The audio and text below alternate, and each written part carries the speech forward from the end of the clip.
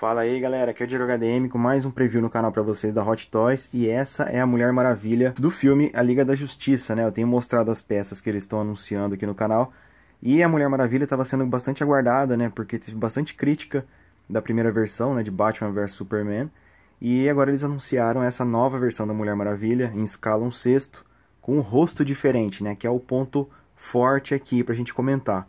Mas antes de eu falar do rosto, deixa eu mostrar os itens que ela vem. Né? O que é que tem de diferente dessa para outra?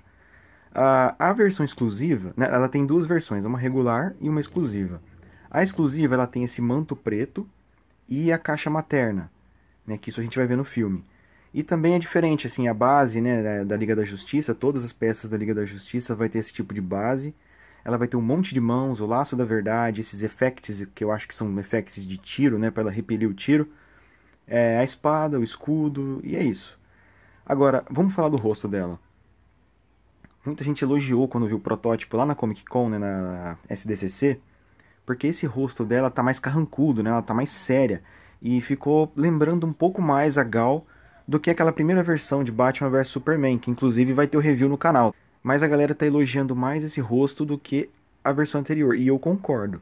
Esse rosto tá melhor. Então o que, é que acontece agora? Eu acho que quem não pegou a versão anterior compensa esperar essa isso aí.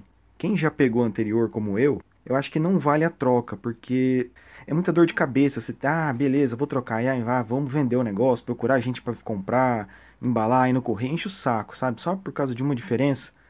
Eu acho que compensa, sei lá, sei lá, comprar sua cabeça separada. É isso que eu vou fazer para mim. Vou, quando essa daí sair, se o rosto ficar desse jeito que tá aí no protótipo, eu vou comprar a cabeça separada e põe na minha e acabou. Agora, quem não tem anterior, compensa esperar essa aí sair que essa realmente ficou mais legal. Como eu disse, ela está sendo esperada para o final do ano que vem ainda, vai demorar para sair. Mas é isso, galera, ela está mais bonita que a anterior com certeza, tá? Isso é uma unanimidade. E aí, o que vocês acharam? Comenta o que vocês acharam. Pode, curte aí o vídeo, compartilha e digam o que vocês estão esperando pro filme. Afinal, tá para estrear já a Liga da Justiça essa semana, né? Então, tô ansioso pra caramba. Abraço, galera. Se inscreva no canal aí para quem não é inscrito, hein? Fui!